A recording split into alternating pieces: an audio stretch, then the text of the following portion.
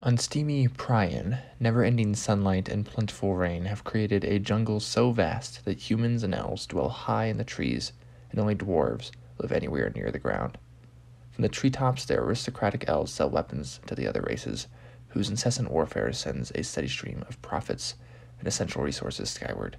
Now, generations of descent and race hatred will not heal, not even under the threat of annihilation at the hands of legendary titans.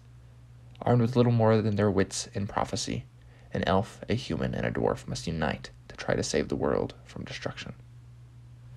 Hello and welcome to Liam's Lyceum. I'm your host, Liam, aka Hembar, and today I'll be doing a spoiler-free review of Margaret Weis and Tracy Hickman's Elven Star.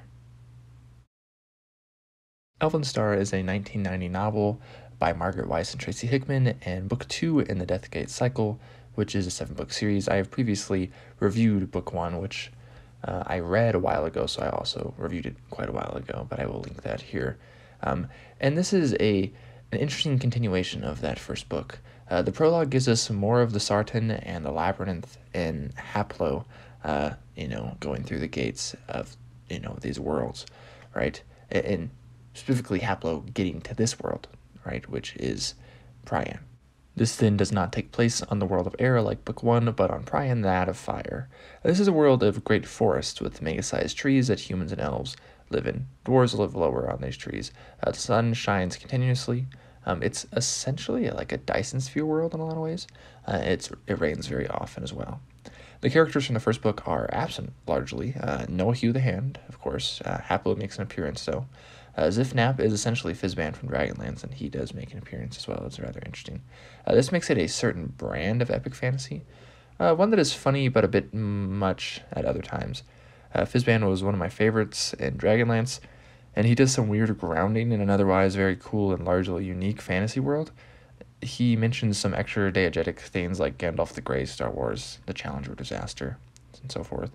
Uh, though the first book also had plenty of whimsy with the dwarves. Um, this is definitely a different book and definitely an interesting one. And some people have said that it kind of is unnecessary plot wise for the main series. But I've so far as of reviewing this, I've only read the first four books. But um, it is very interesting because Weis and Hickman definitely have done something extremely unique here. I'd say. I mean, I've read some interesting fantasy books and sci-fi books with odd worlds, uh, but this is definitely comes off as very unique, even though it's grounded in these elves and these dwarves and so forth.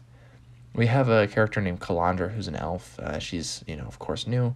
Uh, she's called Callie and is a rather serious character. Her sister, Aleatha, though, is a flirt. Uh, Paithan is their brother. Uh, he makes a deal with humans Roland and Rega, and the latter a woman who connives with Roland to seduce Paithan for nefarious reasons. Uh, this does not go as planned. Uh, Roland and Rega are to go and deliver arms to some dwarves, and the dwarf character really that is important in the story is Drugar.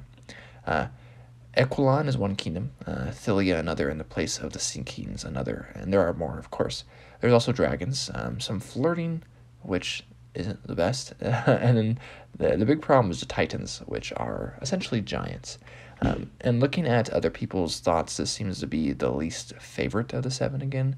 Some say the story is irrelevant to the rest of the series, and I'm interested to see if that's true. And after going a little further into the series, it does seem a little irrelevant as we get Haplo in this book, but we don't get much of Haplo. He's almost just traveling across the realm while these events are happening.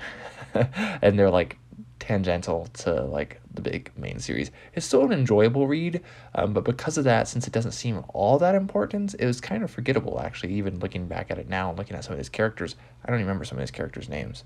I'm just reading my notes essentially. And my my other complaint would be the the odd pacing of it, which was was a problem I had with the first book, even though I found the first book rather memorable and enjoyable overall.